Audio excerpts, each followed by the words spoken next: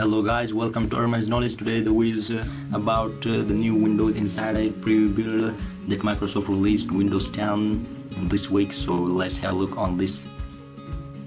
Here Microsoft is announcing the Windows 10 Insider preview build 21359 and this is a build that Microsoft released just after a week and uh, this build doesn't include a lot of uh, stuff just uh, it includes a new a small bit of change that includes this one improvements and change that Microsoft added the new option under the power menu on start menu to restart apps after added an option after signing in uh, you when you reboot your device. So when this uh, settings checked it toggles the under the option under settings uh, then accounts and then sign in options.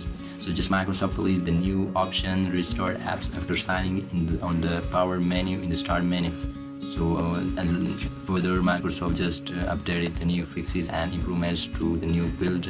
So this build does not include a lot of uh, stuff just it includes a new option that will be present in the start menu under the power menu option.